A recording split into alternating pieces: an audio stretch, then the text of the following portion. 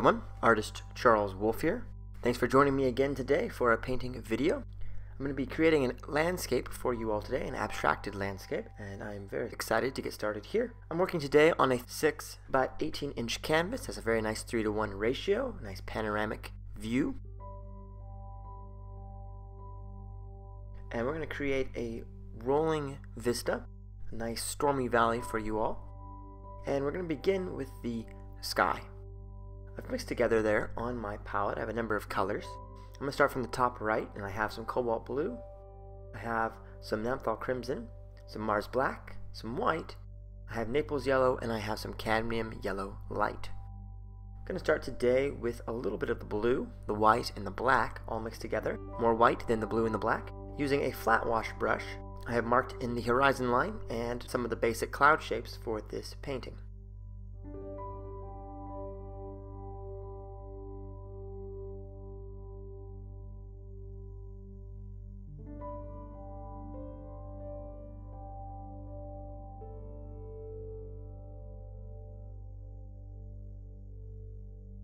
Gonna grab some of the white and just keep adding white as I go along to lighten the sky up. What a nice stormy gray sky today. Sort of matches the weather we've been having here in beautiful Raleigh, North Carolina. Very stormy lately.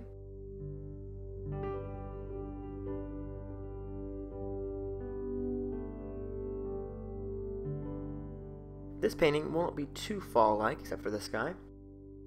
I'm going to go for some lighter colors today but I should do a fall one here soon enough, I think. A little more of the black to make it more of a charcoal gray. Go back over some of these lines and bring out these clouds. Nice storm clouds here, rolling storm clouds. To make this effective, I would recommend that you, at the horizon line, make the strokes to be rather thin and then have them become wider as they get closer to the top, and that will give you instant perspective. Make it look like they are coming towards you and rolling away from you, and lay properly.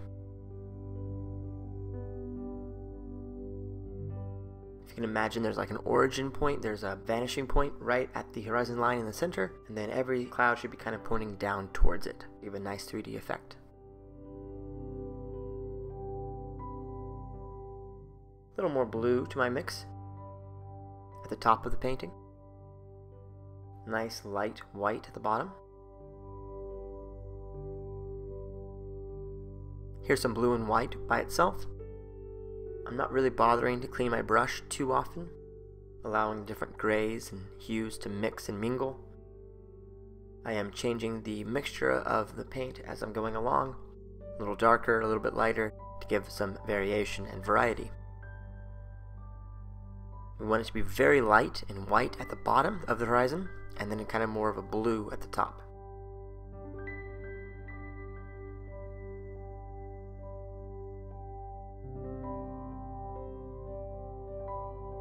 Didn't feel like these clouds were dark enough. I'm going to go back in with a little more of the black to my gray mixture.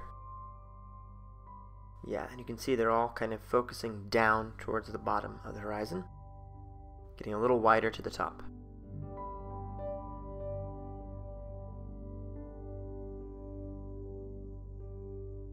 A little more of the gray mix, extending upwards.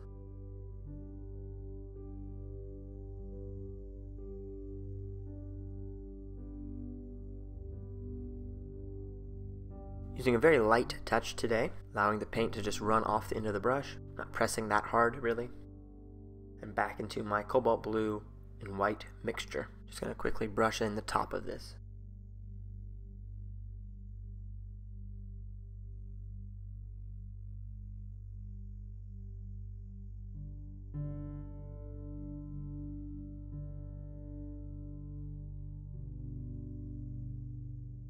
Back to my gray mix. Let's clean up the bottom of this line, make it a little straighter, make it a little lower down as well. Really want the sky to be the focal point of this painting. Bringing in some more of the gray in a few spots down here.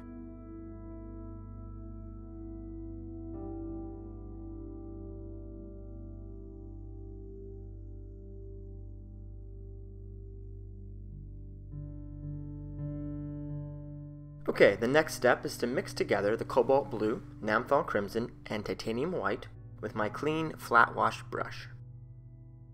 We're going to create a nice light lavender color, beautiful purple, and do some really lovely mountains with this purple.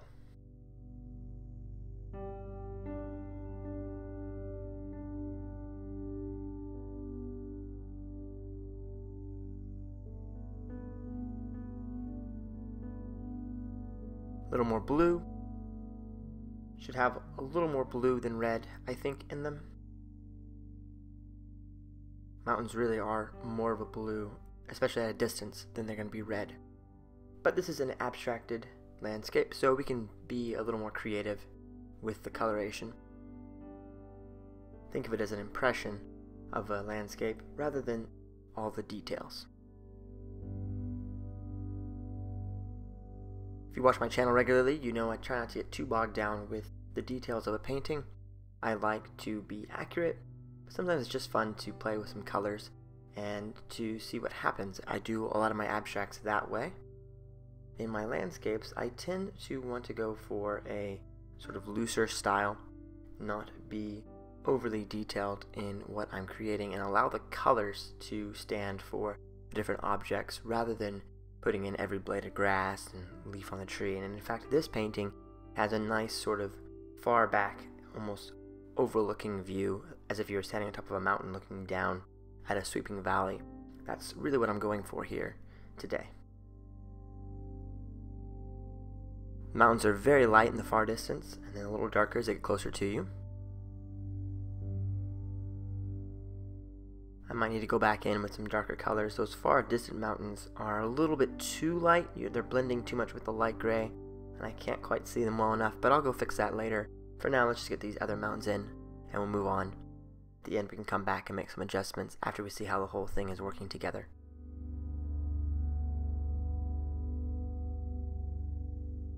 Some short horizontal brushwork. If I want them to be thicker, I just allow more of the bristles to touch the canvas thinner, I just adjust the angle so that just the tip of the bristles are touching, pulling left to right in the opposite direction.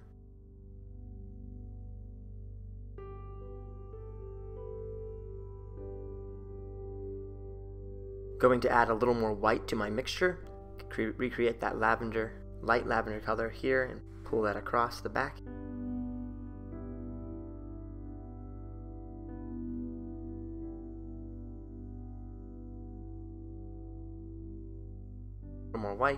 A few light highlights on these forward mountains, a little bit of the gray there too.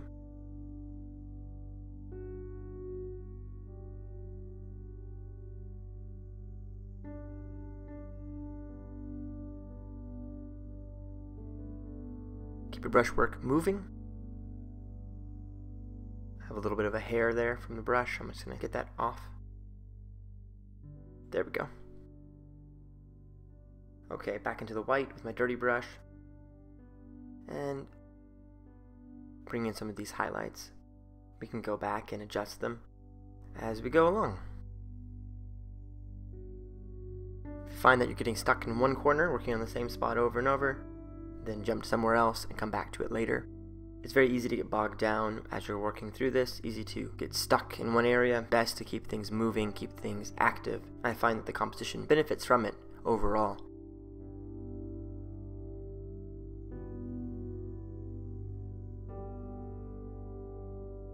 Little more white on your brush here.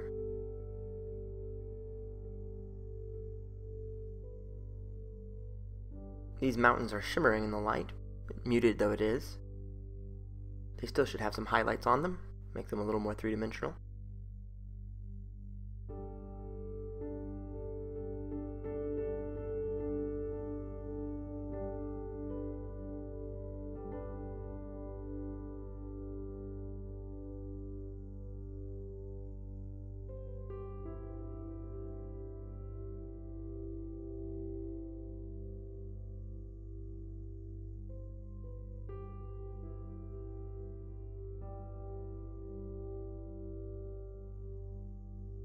Okay, back to my purple mix. Blue, red, and white. A little more red this time, just to make a few adjustments here.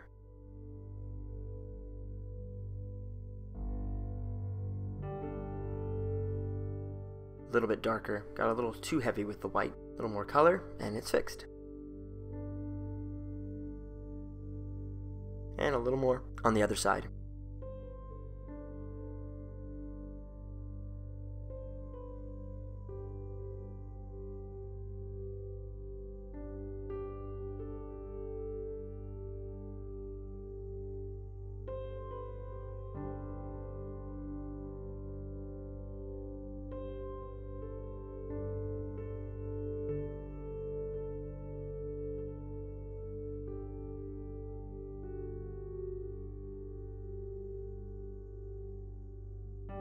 Alright, grab some of the Naples yellow here with my bright brush. Nice flat bristles, very straight bristles. And we're going to take this Naples yellow and we're going to use this complementary color to set off against the purple. So you have the yellow playing against the purple directly. Of course, purple is made with blue and red, and yellow is the other primary color that is not used to make the purple. Therefore, it's purple's complement. And the two, when set next to each other, really shimmer you can think about superhero outfits, they're often in complementary colors. Things like blue and orange, purple and yellow, green and red, all complementary. So here I'm taking the Naples yellow. That purple is still a little bit wet, might be dirtying yellow a little bit, but that's okay, just add some variation. And once it's dry, you can just go back over the top and increase the intensity a little bit.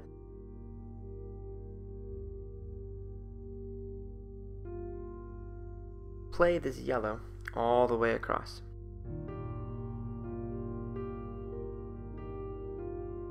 Now I'm going to grab a little bit of the cadmium yellow light. It's a lighter yellow. And we're going to highlight a few of the spots here on the first stripe of yellow.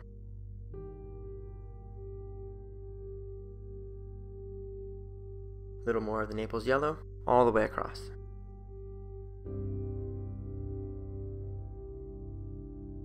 Flat wash brush that has the sky mixture on it. More white. And let's create a little reflection of a lake or a river running here. More white there, a little too dark. That's better.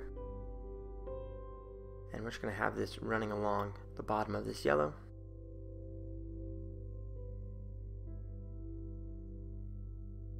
Quick horizontal brushwork, little zigzags I'm creating.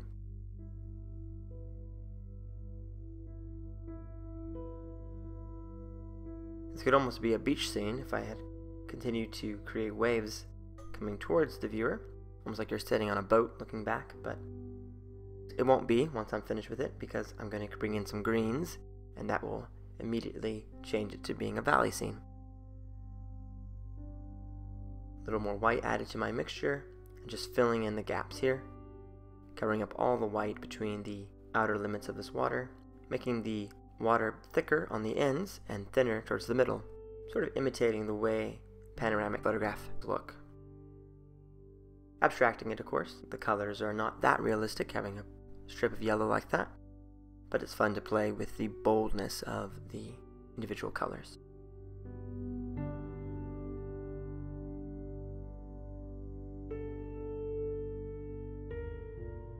A little more of the gray mixture.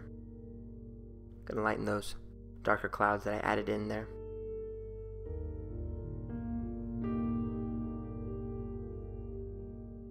Better, much better. A little more white. A little bit of the blue. Bring in some more of the light blue sky mixture here. Just making a few adjustments.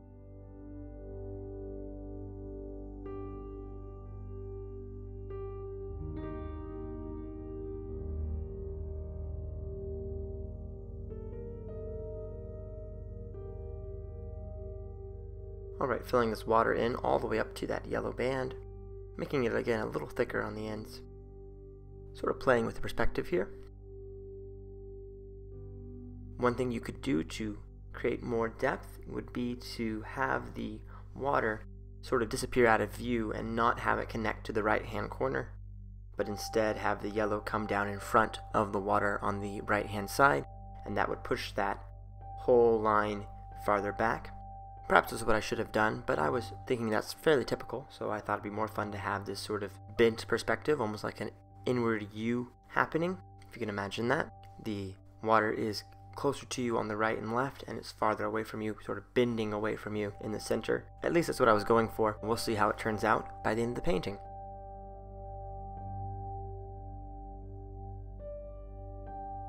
As always, if you're painting along with me, I hope you are, you can uh, make adjustments, add things that you like, and you always can use different colors that I'm using as well.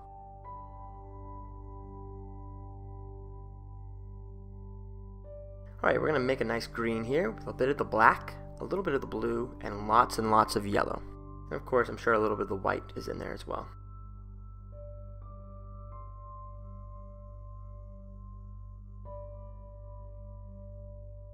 Nice kind of a dirty yellow green color. And we're going to fill in the left hand side. I Had a short jump there in time. My camera paused on me for some reason. I didn't catch it when it happened, but we are back on track now. You can see I filled in the next layer. Same process, thicker on the left and right and smaller and farther away on the center.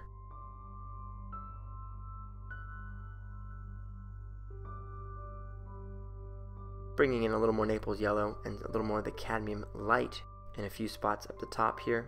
Again, looking for some variation.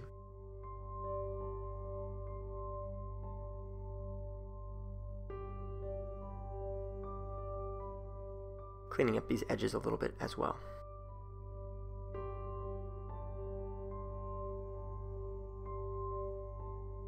Okay, right into the pure cadmium yellow. And we're going to bring that in along here, blending and covering up any of the sections where the white of the canvas is showing. Bringing that right up against that water there. Alright, a little more of the blue, some more of the cadmium yellow there too. Blue and the cadmium yellow light. You can see it creates a nice lighter green color. I'm going to bring that in as well. Just filling in the bottom portion of this canvas.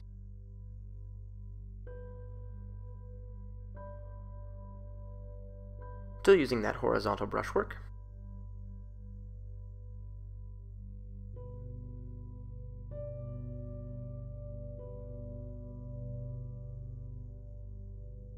Perhaps you may try adding a little green above that yellow stripe above. I'm going to keep it because I'm really going for an abstracted sort of style, but if you would like to make this a little more realistic, you could simply replace the yellow above with some green. I'd also recommend adding a little bit of white to it to make it have some distance and make it look a little more misty. If you want to look more realistic, don't do the yellow stripe, do a very minty light green stripe instead. And then if you would like it to look exactly like mine, then follow along exactly. Little more lemon yellow here at the bottom. Pure yellow there. Dirty brush, nice and light. Finish that off. Okay, grab some more of the blue with the cad yellow. And bring in some darker green here for contrast. Just mopping it in.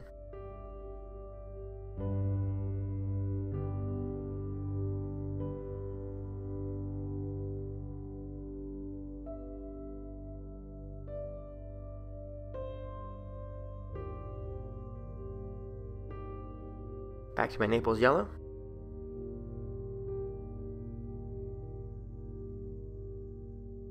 Another layer here.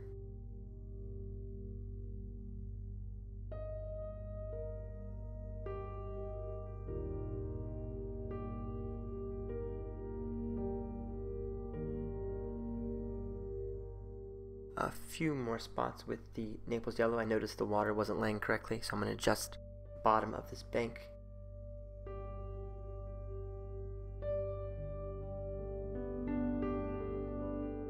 Okay, grabbing my purple mix, a little bit of the white, and my liner brush. Let's mix up some purple here, more white. Blending that really quickly on the brush. We're to go back and we're to redefine the top of these mountains a little better. If you look at photographs of mountains, you'll often see that the very, very top ridge is a little darker than what happens below. So, You want to have a little more contrast for this ridge line and so you can see clearly where the sky ends and where the mountains begin. So just in a few spots here, I'm going to put a few little lines here where this ridge line is happening. Adding a little more white as I get further away from myself. We want to keep it a little darker than the, mount the mountains below just to give it a better definition. That already is looking better. You can see where the sky ends and where the mountains begin and that's very important. Making that a little taller. Getting some more definition to these mountain shapes that are back there, but they're just too close to, in color to the sky.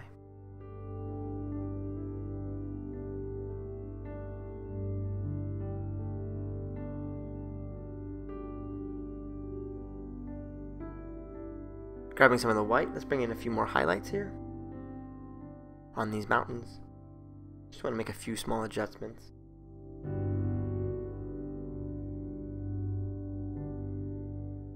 When creating highlights, try to think about which direction the light is coming from and where the light would be striking. In this case, I'm picturing the light coming from the right, so I want to make sure my highlights sort of reflect that.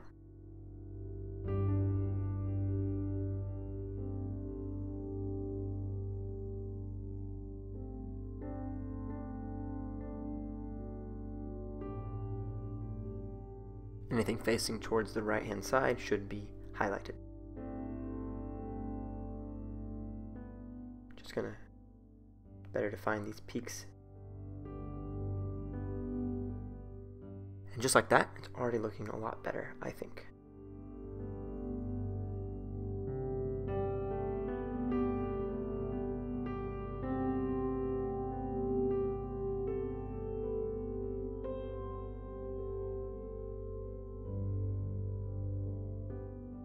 These liner brushes are a lot of fun to use. They do take a bit of practice to get really good at them. How much you press, how much of the bristles you allow to touch the canvas changes how thick the lines are. Use just the tip if you want a thin line, use more of the side if you want a thicker line, and they come in a variety of sizes that you can get as well. This is sort of a medium liner brush. And we'll just blend out a few spots here. And back to my white. I'm going to create a little bit of a lighter horizon through here, sort of a glow.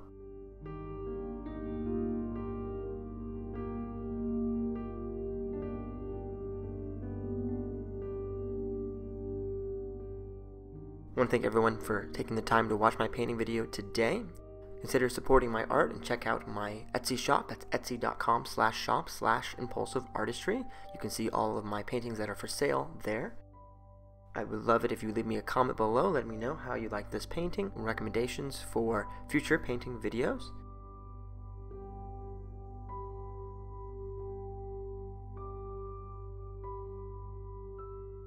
To grab some of the cadmium yellow with a bit of a blue, really make a nice light green, and bring that in with an intensity. More blue. Really want it to be green. The other mixtures have been more in the yellow family. Let's go for a green here. Yeah, that's looking a lot better. Do follow me on social media. You can find me at Impulsive Artistry on Facebook, Art Impulsive on Twitter. And here is the final piece with the colors a little adjusted. You can see what they look like.